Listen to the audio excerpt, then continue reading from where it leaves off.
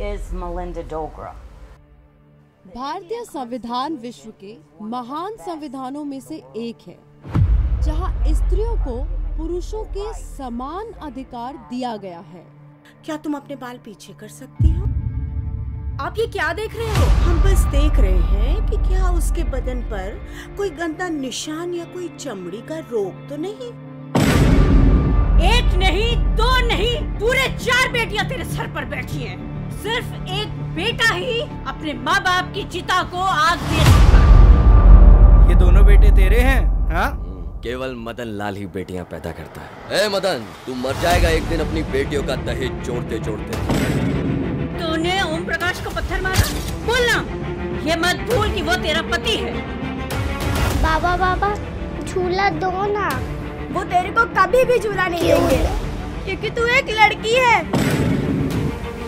सही कहती है मेरी माँ जब वो कहती है कि लड़कियाँ बेकार होती हैं किसी काम की नहीं होती। काश मेरा बेटा होता शांति ऐसा ही होता है जब घर में बेटियाँ होती हैं। खानदान की इज़्ज़त ऐसे जाती है। पिछले जन्म में ज़रूर मैंने कोई पाप किए होंगे। जो ये लड़कियाँ मेरी सजा है। काश तू पैदा होते ही मर गई होती। चल चल। देख हे भगवान हमें एक भैया भेज प्यारा सा छोटा भैया। कई बार मैं सोचता हूँ कि क्या मैं अपनी बेटियों का ख्याल रखूँ या मेरी बेटियाँ मेरा ख्याल अब मेरी बिटिया रानी स्कूल जाने के लिए बिल्कुल तैयार है। बहुत गर्व है मुझे अपनी बेटियों पर।